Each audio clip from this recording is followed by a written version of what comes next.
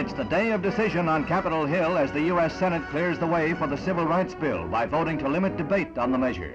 GOP leader Everett Dirksen left and Democratic whip Hubert Humphrey mustered four votes more than the necessary majority to invoke cloture. This means each senator is restricted to one hour of talk on the bill. Senator Humphrey was asked if he thought that the bill will now be passed in its present form. Yes, I am. I'm confident that uh, no single section of this bill will be deleted, that none of the enforcement powers will be uh, uh, taken out or weakened. Uh, if there are any amendments, I would consider them to be of a rather minor nature, and I don't see the prospect of very many amendments to this bill.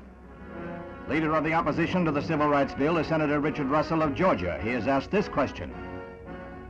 Senator Russell, do you feel, sir, that this large vote for cloture means automatic passage of the Civil Rights Bill? Well, of course, uh, it does show that there's great strength in the Senate for the bill, but I do not think that it means automatic passage of the bill in its uh, present form.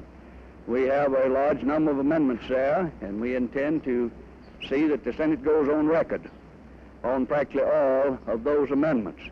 Uh, we uh, have lost the battle, of course, but we are not yet ready to surrender in our opposition to this bill, which we feel is a perversion of the American way of life and a great blow at the right of dominion over private property that has been the genesis of our greatness.